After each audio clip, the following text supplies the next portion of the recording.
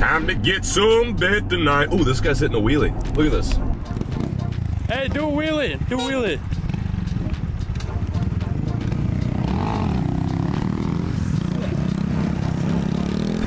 Dude, Denton is popping this morning, man. Everyone's vibing, having a good time. He was like, no hesitation. He looked at me, he's like, He's an old guy too. yeah, he's an older dude. What was that, a Grom? It looked like a Yeah. little Grom. We're out here, we're in the streets getting some some bee night.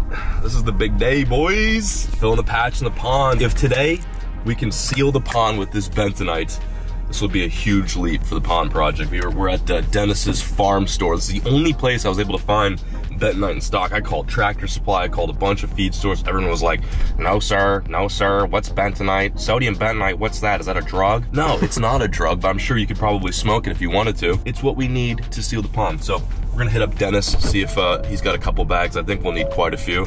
But today is, a, is an exciting and very fun day.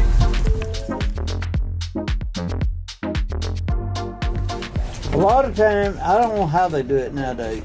We used to take that bent night, and all you do is you get a boat, throw it out in the water, and it goes right to the hole. Sinks right to That's where the leak was. the leak is. Yeah, I'm hoping that's as easy as it's gonna be, honestly. Thank you. I appreciate your help today. They're bagging us up right now. Buddy's back there having fun with the forklift. Pretty jealous right now. He's he's getting our bentonite. Oh, I got 15 bags. I believe that was Dennis behind the counter.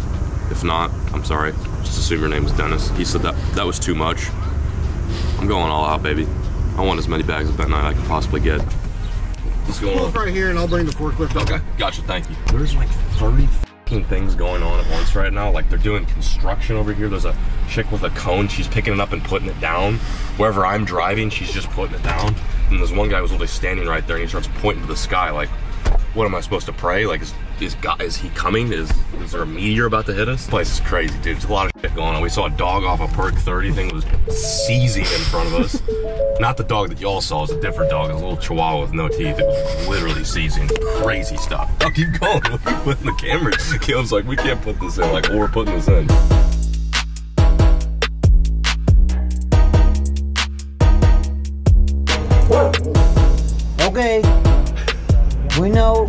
Touch that green button. Thank you. Well, before we head to the pond, had to make a quick pit stop at the Googan HQ. The location, if you guys don't know yet, it's at 2345 Nail Road in Krum, Texas, right next to uh, Denton off of 380. So if you guys want to come through here and meet up and obviously pick up some baits, please do so. What's going on, John? Morning. We just came here to uh, bother you, as we always do. How's the shop doing? It's uh, it's lively Is it? A little bit. Really? It's today Saturday? Yeah. So it should be, li- yeah, it should be lively. What? Oh my God, like There it is right there. five trucks just pulled up. That's all it takes is for that 10 o'clock to hit, and then boom, let's go all That's, day. that's crazy, dude. That looks awesome. And here we got, oh, let's check out the bass. Speaking of fish that aren't in a pond, these are the two little F1 strains that we purchased, uh, what was it, a couple of weeks ago. They look good. And then I think the big bluegill is lurking somewhere. He's so dark you can barely see him. He like blends in with the backdrop. Uh, oh, he's back there. Y'all probably cannot see him. Actually, yeah, you can pretty good. There he is. Anyway, like I said, if you guys want to come through here, uh, hang out, you know, I'm sure Rackley will be here uh, on occasion. Rob, I'm sure, stops by here every now and then as well. I like coming here because it's not too far and we can pull through, talk fishing and all that. And I had like a little tiny meetup a couple days ago and it was awesome to meet some of you guys who, who came through and picked up some baits and just kind of wanted to shoot the shit, share stories, which is pretty dope.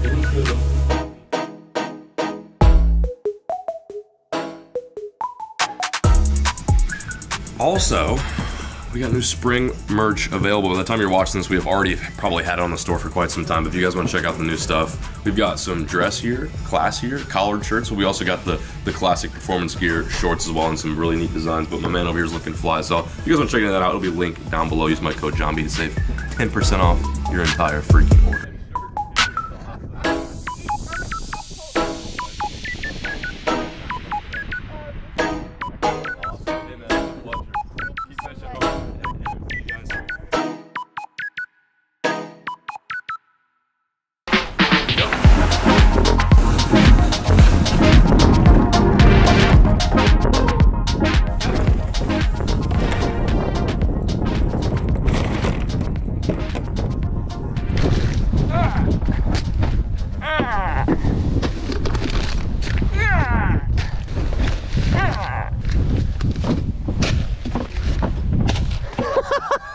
My bad, dude. I'm sorry. I literally called it. I'm like, I'm definitely gonna hit the camera.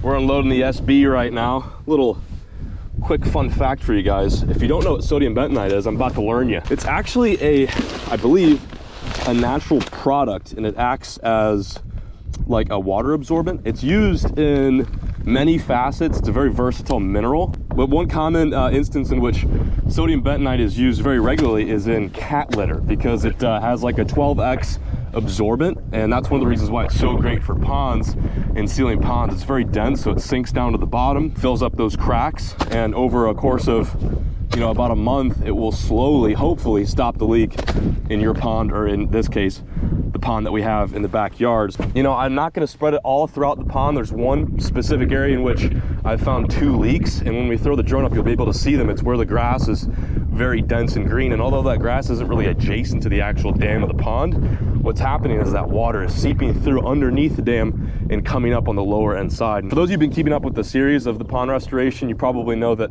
the pond's gone through many different stages. It was dug out once um, by an excavator. He went a little bit too deep, hit rock, and that's generally in the deeper area. So that's where we're gonna focus mostly on. The rest of the pond is fairly shallow and it's been packed in with clay. So that isn't a cause for concern. It's just that deep area where there's a bit of rock that, uh, that uh, I guess got uncovered and is causing the leak. But I think this is a good solution. In the last video, we installed this sweet little ruler that I handcrafted with all my ingenuity and craftsmanship. And uh, the reason why we installed this is to measure the weekly drop of this pond. So we get an idea and can kind of compare and contrast once we do apply the bentonite if there is any change. Um, because if there's not, we'll have to go with uh, probably a second layer bentonite or Dammit, which I think is like, Dammit is not like damn it like the like the swear it's like damn it which now i'm realizing is hilarious and a play on words. But anyway damn it is something we might have to add if we realize the water is still dropping at the rate it has been. So when we first took the picture it looked like this. Um, it was right at the two and what is that two and three two and three tenths mark and now yeah like roughly the same. It hasn't gone down too too much which is crazy but that is deceiving. What the hell? That really hasn't dropped too much. It's probably dropped like an inch maybe. It was also super windy that day too so it's tough to get a solid measurement on that. Huh. Like do we even need to add sodium bentonite? So it's it's actually under the the three in this picture. And granted that was only a week ago. Over long periods of time with natural evaporation this will get down pretty fast. And we do have a leak because you can physically see the water seeping out from underneath the dam. Uh, this is a nice little measurement. We'll keep an eye on this. It'll probably take weeks before you see a true drastic change after the bentonite but i don't want to see that go down any more than it already is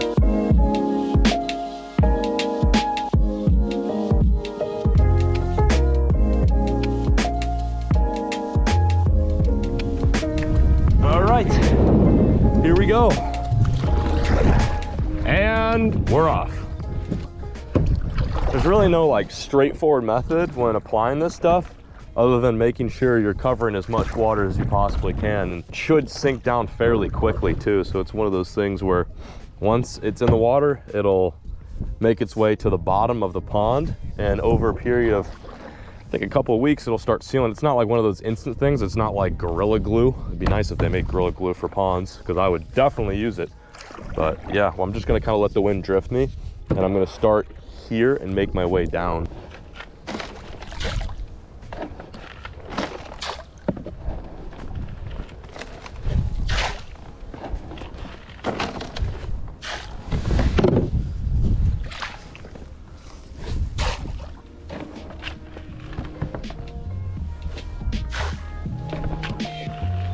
super dense.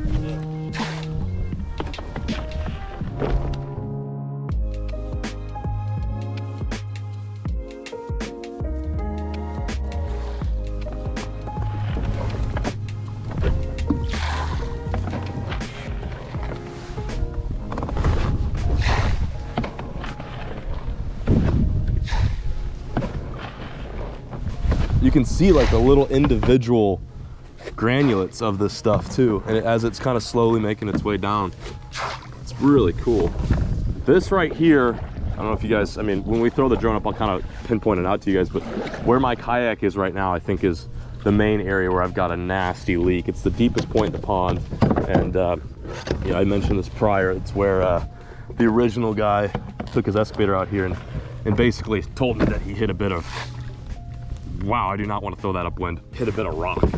So that's definitely, uh, that's definitely one of the causes for this pond dropping.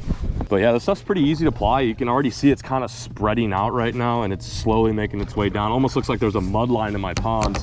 Uh, and I imagine after a couple of hours, it'll look pretty normal.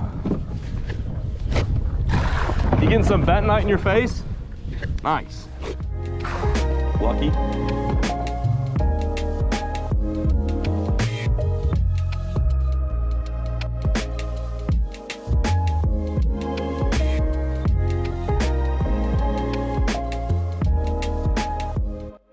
Well, the kayak is covered in bentonites, but today was a successful day. We got one step closer to potentially sealing our pond. That feels good, man. And you know what? If we need to reapply, we can, because I've got like 80 freaking bags in the back of my truck.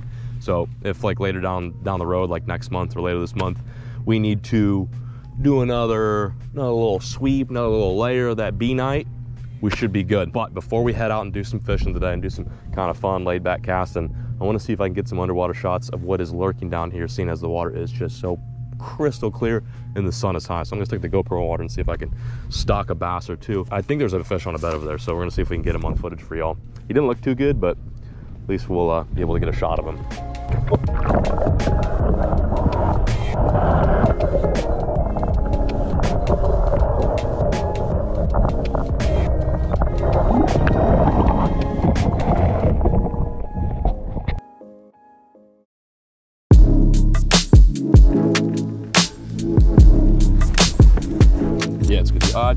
Check the line right at the hook. It might be a little frayed, but I think it's straight. Ba ba ba ba ba. There is no one like me.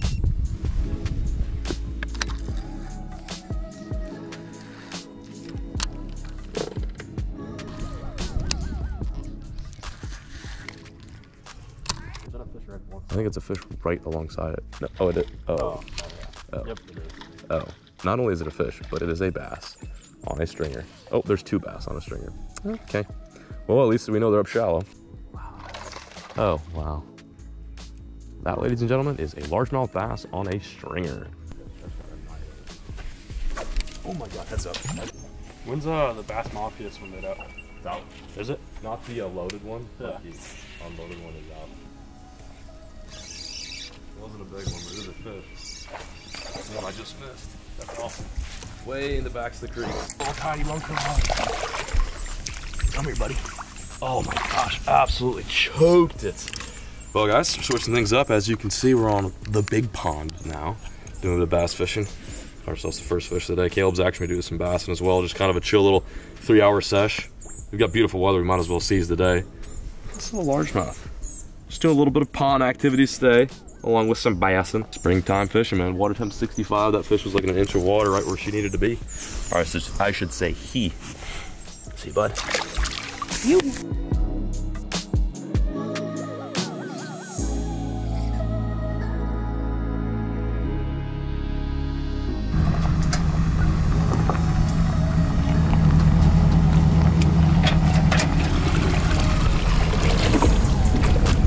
not the ending I was hoping for. I was kind of anticipating a nice little pond restoration session, followed with some bass banging and some fishing and cracking on some jaws, but it was not like that today. Got a couple fish, I can't complain. I mean, it's a beautiful day out here. Really, more than anything, other than catching a couple fish, caught a vibe.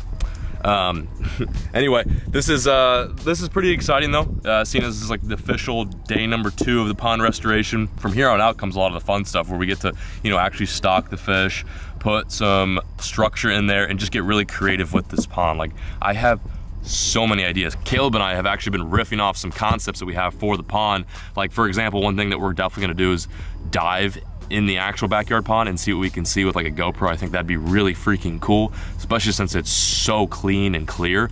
Um, the other thing I want to do is eventually build a dock, but not just any ordinary dock, like a really sick dock, put dock lights on it, put like little structures under the dock. Like I have so much stuff. The only thing left to do is to bring it to fruition. And also, I want to hear some thoughts and ideas and concepts you guys have in mind. Use the comment section below to give those ideas, and uh, we'll try to make it happen. The sky's the with the pond. I'm feeling really happy and, and confident now that we got the bent night in, and it should slow the leak that we uh, have had for almost over a year now. Anyway, thank you guys for watching. Hope you guys enjoyed yet another part to the pond restoration. She lives on the backyard bass big bass factory the backyard i'm so tired the bass the big bass the big bass factory is coming together nicely. Just wait until we put some actual big bass in there and it's uh, it's gonna be pretty sweet. But anyway i'm peacing out signing out thank you guys so much for watching. We'll catch you in the next one. As always folks keep catching dinks. Never stop